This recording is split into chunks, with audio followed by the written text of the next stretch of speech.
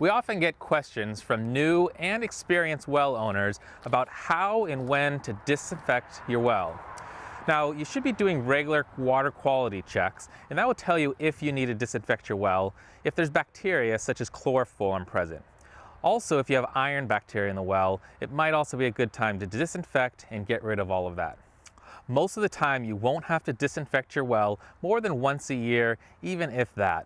But you should be doing regular water quality tests in order to ensure you're not getting bacteria into your well. Good news is, if you already have a well pump installed or a solar pump, you're not going to have to pull that pump. We're going to be able to disinfect the well with that pump in, and it even helps the process because we'll be able to add the disinfectant. In this case, it's going to be bleach. We'll pour it down the well. We're going to circulate it through the entire system, allow it to disinfect everything, and then we're going to drain the system and flush it out with nice clean water. In this video, we're going to go over the seven steps in order to disinfect your well. Also, if you like this content, subscribe down below. We're going to be doing a series that's going to show how to replace this old AC pump system with a complete solar pump system with a submersible pump and a surface pump in order to provide water to your entire property. This is Mike with RPS Solar Pumps, and these are the seven steps you need to take in order to disinfect your well and keep your family safe. Put the sun to work with RPS Pumps.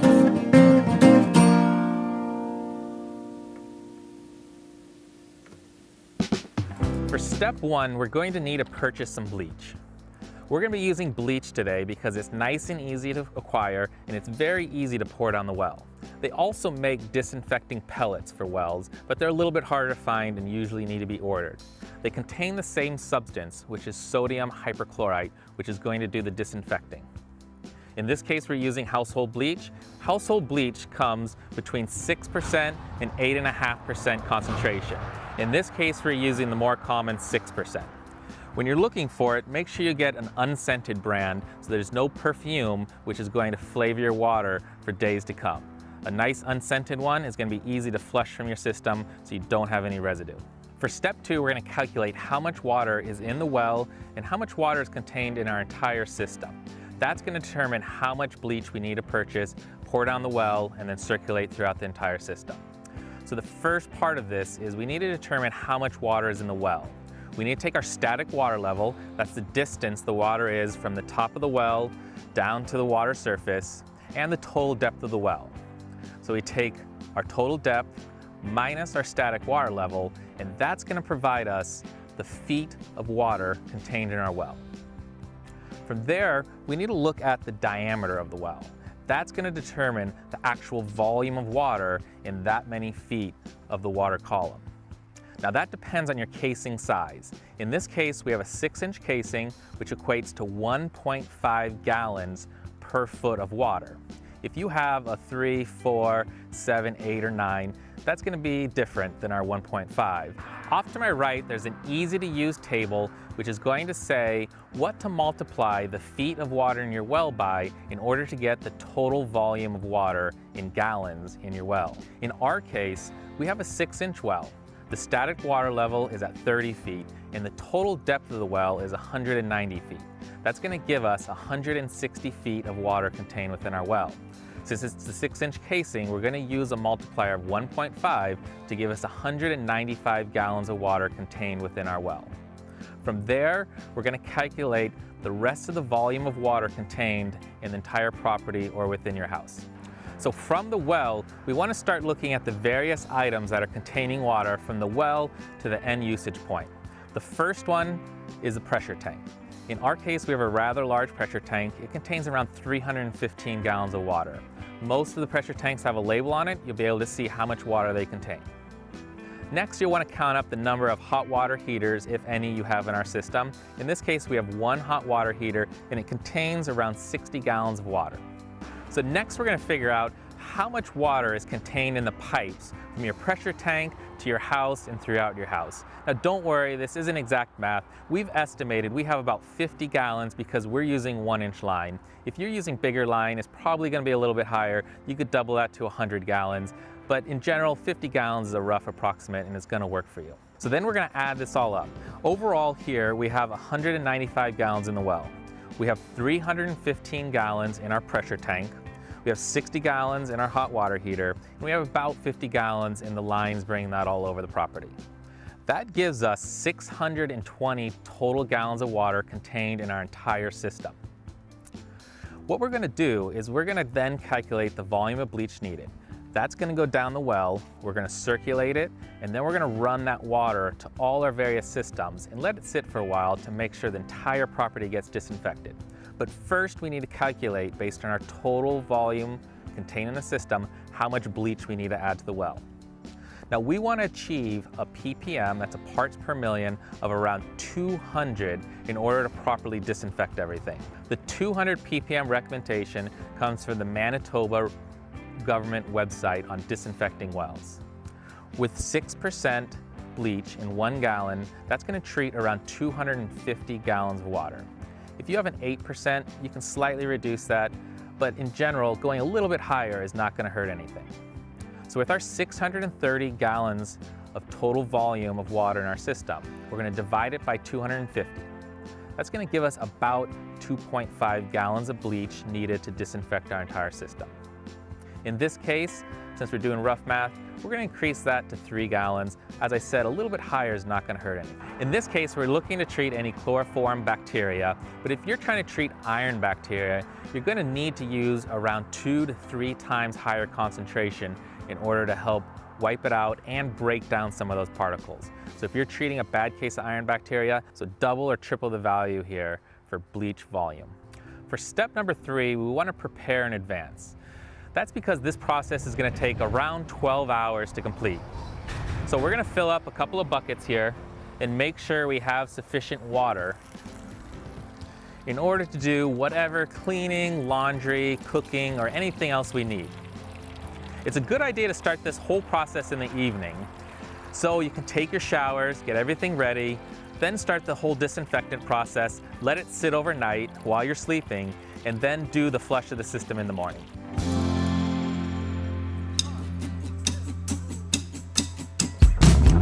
For step four, it's time to start pouring bleach down the well. Now, if you're sensitive to bleach on your skin, then you might want to wear some gloves.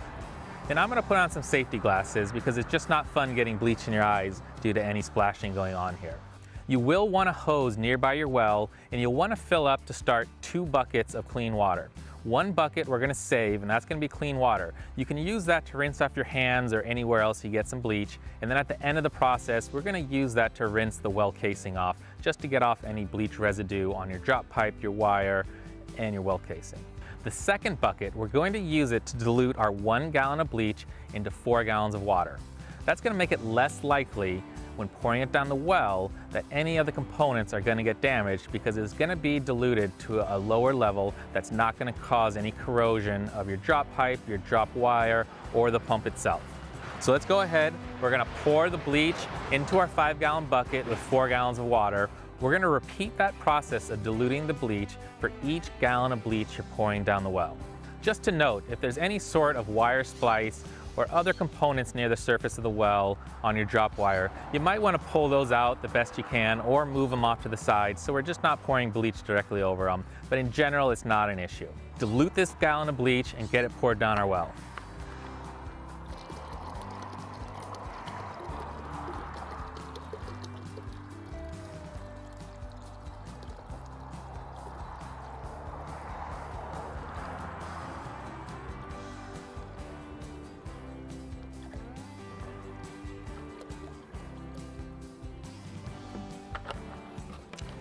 If you have a well seal, you're going to want either a funnel or a homemade funnel in order to put down the vent on the well seal to pour this mixture through.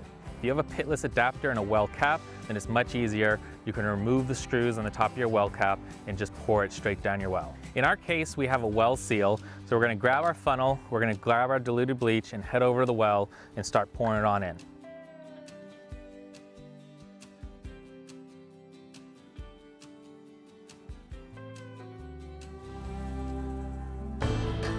So now that we have the bleach solution poured into our well, we're gonna take our hose and our funnel and we're gonna recirculate the water in the well until we smell bleach from the hose. We're gonna do this for about 15 to 20 minutes and that's gonna make sure that bleach solution gets all over your well casing, your drop pipe, anywhere inside that well where the bacteria can hide so we can eliminate it.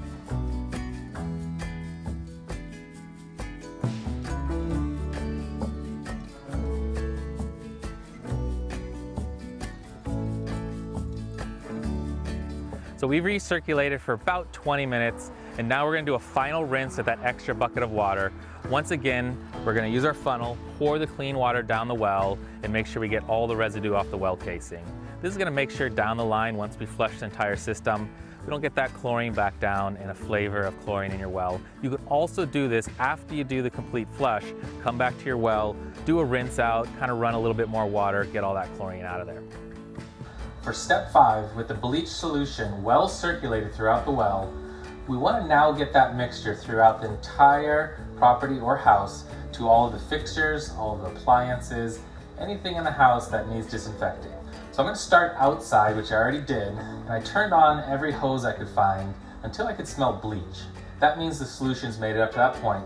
Once I smell the bleach, then I shut it off. Next, I'm gonna go inside, and here we have our sink faucet. I'm gonna turn on the cold and the hot, again, until we smell bleach. That's gonna indicate the solution made it up to here. We're gonna shut it off and go to all our other faucets. We're also gonna do the toilets. We're gonna flush them a few times to get the bleach water circulated through there. And we're also gonna do our dishwasher and our washing machine to make sure we get in every nook and cranny to make sure any bacteria present doesn't get back into the pipes and water supply. So we've got this all taken care of, and now we're gonna go ahead and we're gonna wait 12 hours in order to make sure everything is totally disinfected. This is why I like to do it in the evening, because it can sit for 12 hours and people aren't gonna use any water. So let's go ahead, we'll wait the 12 hours, and we'll be back when the time's up.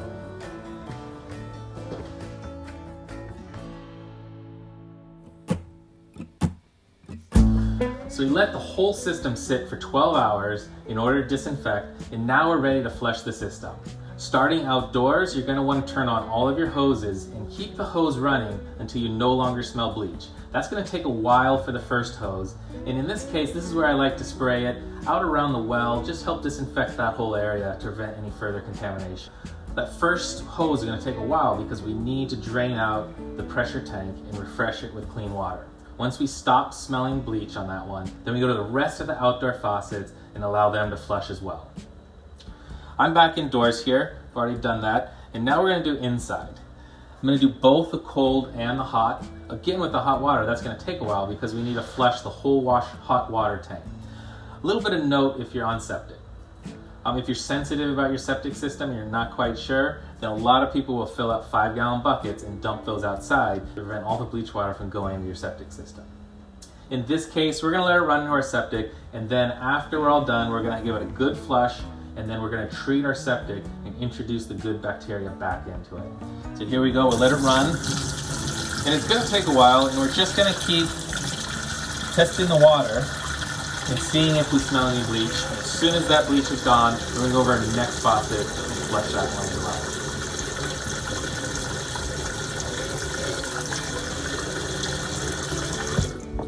I've already done a couple around here, so this one only took a couple of minutes, but it might take longer if it's your first faucet. The toilet's less important, you can flush that a few times, but that's naturally going to uh, dilute and get all the bleach out of there. Um, you're going to want to do the showers in order to get the bleach out of those lines before somebody jumps in the shower. Uh, same with your dishwasher, and especially your washer. You don't want to put any dark clothes in there and possibly bleach them. If anything, do a batch of whites before to make sure all the bleach is out. But you can see that's a really simple process. We're able to completely flush out our system knowing it's all completely sanitized. So those are seven easy to follow steps in order to disinfect your well and your entire water system on your property. It's going to provide nice, safe, clean drinking water for you and your family. Now it is important to do periodic tests to ensure no other bacteria is getting into your well. But if you followed those steps, we're going to end up with nice, clean, drinkable water. This is Mike with RPS Solar Pumps.